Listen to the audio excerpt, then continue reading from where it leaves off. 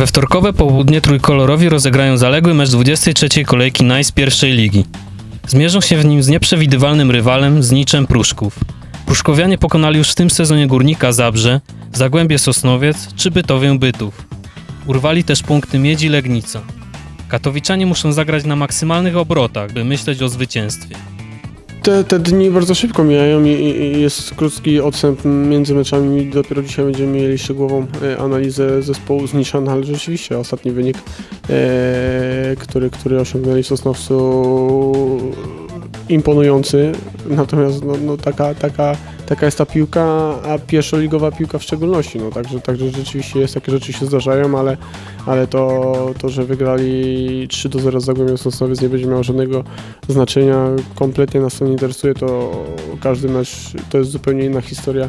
Jestem przekonany o tym, że jeżeli my zagramy swoją piłkę zdeterminowani i będziemy bardzo, bardzo agresywni, będziemy sobie stwarzać sytuację, to, to, to wreszcie, wreszcie, wreszcie te punkty wrócą z nami na bokowo. W ostatnim meczu Grzegorz Gącerz w końcu przełamał się. Zdobył szóstą bramkę w sezonie i wraz z Tomaszem Foszmańczykiem należy do najskuteczniejszych zawodników zespołu. Wierzy, że wciąż będzie dawał zespołowi upragnione zwycięstwa. Ja jestem bardzo pewny siebie, niezależnie od tego, czy ja strzelam, czy nie strzelam, czy gram, czy nie gram. E, Także ta bramka kompletnie nic w moim podejściu do, do tego zawodu nie zmieni. Cieszę się, że strzeliłem, natomiast ona nam nic nie dała. Jestem przekonany o tym, że zacznę strzelać bramki, e, które, które będą dawały punkty. Jestem, jestem tego pewny.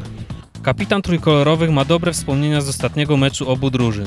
W spotkaniu rundy jesiennej zdobył bramkę, a Gieksa wygrała przy Bukowej 2 do 0. Nikt z piłkarskiej części Katowic nie miałby przeciwko powtórzeniu tego wyniku. Tak, no rzeczywiście, dobrze, dobrze nam się grało w tym spotkaniu, dobrze nam się mecz ułożył.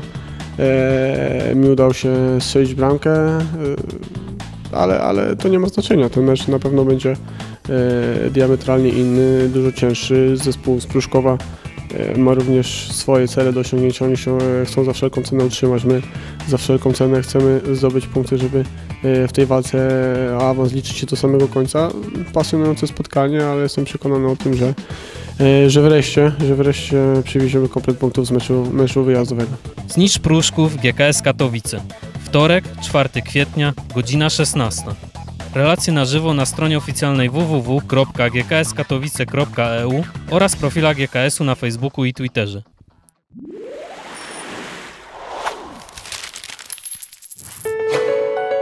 www.asapolska.pl